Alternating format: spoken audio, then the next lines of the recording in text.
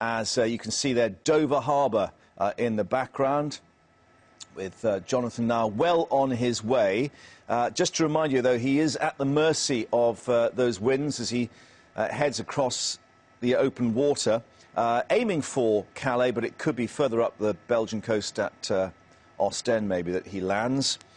took off from Kent Gliding Club near Ashford around 5 this morning and told us part of the adventure is you don't know when you need to land.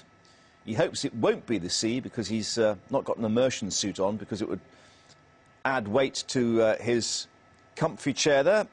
And the key to this is that he is strung under helium balloons. First time it's been done. And uh, the American, who is uh, what, 37 years old, I think, is uh, attempting to be the first man, or first person indeed, to uh, do this, saying that he has attempted some trips in the US before, but the channel has held, well, he says, an iconic ribbon of water that is calling. That's how I described it. And uh, back in March, came to England and France to uh, plan his trip.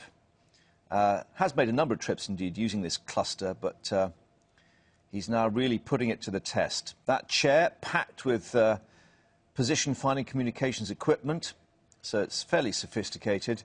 But as we were saying, he really has to wait to see which way the wind takes him. But flying high at the moment, uh, hoping to cruise at a height of about 7,000 feet, where he should pick up the, uh, the right sort of wind direction.